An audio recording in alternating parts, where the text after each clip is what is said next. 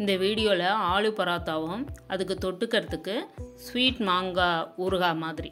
அதாவது மேங்கோ சுந்தா பண்ண போகிறோம் முதல்ல இன்ஸ்டன்ட் மேங்கோ சுந்தா எப்படி பண்ணுறதுங்கிறத பார்க்கலாம். அதுக்கு துருவின மாங்காய் ஒரு கப் எடுத்துட்டுருக்கேன் அதில் சேர்க்கறதுக்கு சர்க்கரையும் வெல்லமும் அரை அரை கப்பாக எடுத்துன்னு இருக்கேன் ஃபுல்லாகவே வெல்லமும் போடலாம். இல்லை ஃபுல்லாக சர்க்கரையே சேர்க்கலாம். அதோடு சேர்க்கறதுக்கு உப்பு தேவையான அளவு ஒன்றரை ஸ்பூன் மிளகா பொடி காஷ்மீரி சில்லி பவுடர் எடுத்துன்னு இருக்கேன் அரை ஸ்பூன் கரம் மசாலா அரை ஸ்பூன் மஞ்சப்பொடி அரை ஸ்பூன் ஜீரகப்பொடி இப்போது பேனில் துருவின மாங்காய் வெல்லம் சர்க்கரை எல்லாத்தையும் ஒன்றா சேர்த்து ஸ்டவ்வை ஆன் பண்ணிவிட்டு நல்லா சேர்த்து கலரணும். கொஞ்ச நேரத்தில் அது நல்லா உருகி நல்லா கொதிக்கும். இதில் மாங்காயோட புளிப்புக்கு ஏற்ற மாதிரி ஸ்வீட்டு சேர்த்துக்கலாம். நான் வந்து கொஞ்சம் புளிப்பு கம்மியாக இருந்ததுனால ஒன்றுக்கு ஒன்று போட்டிருக்கேன். புளிப்பு மாங்காயாக இருந்ததுன்னா இன்னும் கொஞ்சம் கூட திதிப்பு போட்டுக்கலாம். இப்போ நல்லா கொதிச்சு சேர்ந்து கொதிச்சுடுத்து இப்போ பதம் பார்க்கலாம். இந்த பாகு தொட்டு பார்த்தோன்னாக்க இந்த மாதிரி ஒத்த கம்பி இழுக்கணும். அதுதான் பதம்.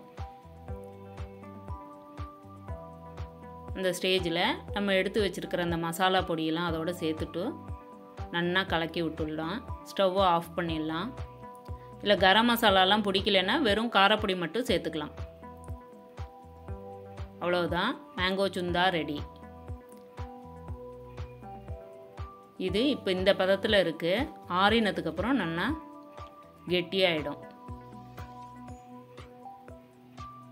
பாருங்க ஜாம் மாதிரி ரொம்ப டேஸ்டியாக இருக்கும் அது. இது பூரி பராத்தா தேப்லா எல்லாத்துக்கும் தொட்டுன்னு சாப்பிட்லாம். ரொம்ப நன்னா இருக்கும். அடுத்தது ஆலு பராத்தா எப்படி பண்ணுறதுன்னு பார்க்கலாம். அதுக்கு மாவு பிசையறதுக்கு ஒரு கப்பு கோதுமை மாவு ஒரு டேபிள் ஸ்பூன் எண்ணெய் எடுத்துட்டுருக்கேன். கொஞ்சம் உப்பு தண்ணி. ஒரு கால் டம்ளர் தண்ணி விட்டுண்டு உப்பை சேர்த்து எடுத்துட்ட எண்ணெயில் ஒரு ஸ்பூன் எண்ணெய் மட்டும் முதல்ல விட்டுருக்கேன் நல்லா மிக்ஸ் பண்ணிவிட்டு மாவை அதில் போட்டு முதல்ல நல்லா சேர்த்து பிசைஞ்சுக்கணும். அதுக்கப்புறம் கொஞ்சம் கொஞ்சமாக தண்ணி சேர்த்து நம்ம சப்பாத்தி மாவை விட தளர பிசைஞ்சுக்கணும்.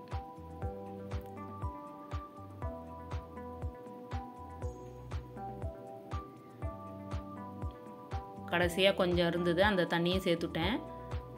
பாருங்கோ சப்பாத்தி மாவை விட கொஞ்சம் தளர இருக்குது அந்தளவு இருந்தால் தான் இழுத்து இடுறதே ஈஸியாக இருக்கும்.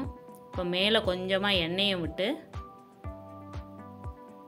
சேர்த்து பிசைஞ்சிட்டு ஒரு ஒன் ஹவர் ஊற விடணும். பாருங்க எவ்வளோ சாஃப்டாக இருக்குது பாருங்க மாவு. ஆனால் மூடி ஒன் ஹவர் வச்சிடணும். நான் ஒரு நாலு உருளைக்கிழங்க வேக வச்சு மேஷ் பண்ணி எடுத்துட்டுருக்கேன். மீடியம் சைஸ் உருளைக்கிழங்கு. மிச்சம் இருக்கிற எண்ணெயை ஒரு பேனில் விட்டுட்டு மேஷ் பண்ண உருளைக்கிழங்க அதில் சேர்த்துட்டு அதோட ரெண்டு பச்சை மிளகா ஒரு துண்டு இஞ்சி மிக்சியில் அரைச்சிட்டுருக்கேன். அதையும் இதோட மிக்ஸ் பண்ண போகிறேன் பூண்டு வேணும்னாலும் இதோட சேர்த்து அரைச்சிக்கலாம். நன்னா சேர்த்து கிளறிட்டு தேவையான அளவு உப்பு கொஞ்சம் கரம் மசாலா கொஞ்சம் மஞ்சள் பொடி. இதெல்லாம் சேர்த்து நன்னா கலந்துக்கிற அளவுக்கு சேர்த்து கலரணும். இதில் கொஞ்சம் உப்பு காரம் தூக்கலாக இருந்தால் நல்லாயிருக்கும் இந்த ஸ்டஃபிங்கில் ஏன்னா சப்பாத்தி மாவு வேறு மேலே வைக்கிறதுனால டேஸ்ட்டு நல்லாயிருக்கும் எல்லாத்தையும் உருட்டியாச்சு ஆறினதுக்கப்புறம் உருட்டி எடுத்துட்டாச்சு. இப்போது ஒரு பிளேட்டில் கொஞ்சமாக எண்ணெயை தடவி அதில் இப்போ எல்லாத்தையும் ஸ்டஃப் பண்ணி பூர்ணத்தெல்லாம் ரெடி பண்ணி வைக்க போகிறோம் எண்ணெய் தடவலைன்னா சில சமயம் ஒட்டின்னுடும் அந்த அதில் மாவு. அதனால தான் கொஞ்சமாக எண்ணெய் தடவுவேன். நம்ம போலிக்கெலாம் நல்லா பண்ணுற மாதிரி சொப்பு பண்ணி அதுக்குள்ளே பூர்ணத்தை வச்சு மூட வேண்டியது தான் கொழக்கட்டை போலி அதெல்லாம் பண்ணுற மாதிரி தான் இது. எல்லா பூர்ணத்தையும் அந்த மாதிரி மூடி ரெடி பண்ணி வச்சுக்கலாம். அல்லது அப்பப்போ பண்ணுறதே எவ்வளோ வேணுமோ அந்த அளவுக்கும் ரெடி பண்ணி வச்சுக்கலாம். பண்ணாத போது நல்லா மூடி வைக்கணும் அதை. இல்லைன்னா ட்ரை ஆகிடும் இப்போ நான் எல்லாத்தையும் பண்ணிட்டேன். எப்படி இட போகிறோன்னு பார்க்கலாம். மாவை நல்லா மாவில் துவச்சுண்டு ட்ரை மாவில் மெதுவாக இடணும். ஏன்னா மாவு மேல் மாவுலாம் ரொம்ப சாஃப்டாக இருக்கும். உள்ளே பூரணம் இருக்கிறதுனால பூரணம் வெளியில் வராத அளவுக்கு மெதுவாக இடணும். இன்னொன்று இட்டு காமிக்கிறேன்.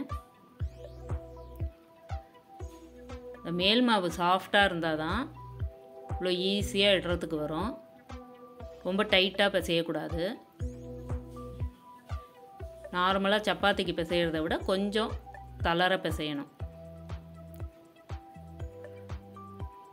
இப்போ எப்படி வாட்டுறதுன்னு பார்க்கலாம். தவாவில் போட்டுட்டு ஒரு பக்கம் நன்னா கலர் சேஞ்ச் ஆன உடனே இது திருப்பி போட்டுட்டு மேலே எண்ணெயோ நெய்யோ எது வேணுனாலும் தடவிக்கலாம். கொஞ்சமாக ஸ்பூனால் தடவினா போகிறோம் ஏன்னா ஆல்ரெடி நம்ம எண்ணெய் விட்டுருக்கோம் அதில் இப்போ செய்கிறதையே நான் உப்பிக்கிறது பாருங்க. இப்போ திருப்பி போட்டு அந்த பக்கத்துலேயும் தடவணும்.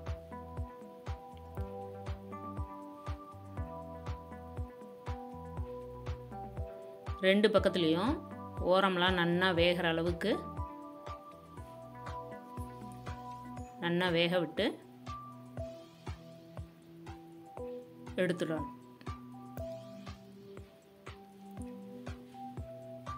ஆயிடுத்து இப்போ எடுத்துடலாம் அதை. இப்போ இன்னொன்று பண்ணி காமிக்கிறேன். ஒரு பக்கம் லேசாக கலர் சேஞ்ச் ஆன உடனே திருப்பி போட்டு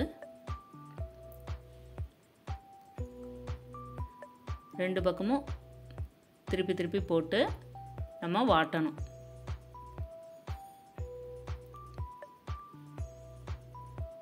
எண்ணெயும் நெய்யும் நிறையா வேணும்னா நல்லா சைடில் எல்லாமும் தோசைக்கு ஊற்றுற மாதிரி ஊற்றலாம் நம்ம ஆல்ரெடி மாவுலேயே விட்டுருக்கிறதுனால கொஞ்சமாக பண்ணுறோம் இதெல்லாம் சூடாக சாப்பிட்றது ரொம்ப டேஸ்டியாக இருக்கும். அவ்வளவுதான். ஆலு பராத்தா ரெடி ஆகிடுது வித் சுண்டா. இந்த மேங்கோ சுண்டா வந்து ரொம்ப டேஸ்டியாக இருக்கும். பராத்தாலாம் நல்லா காரமாக இருக்கிறதுக்கு அது ரொம்ப டேஸ்டியாக இருக்கும். தேங்க்யூ ட்ரை பண்ணி பாருங்கள்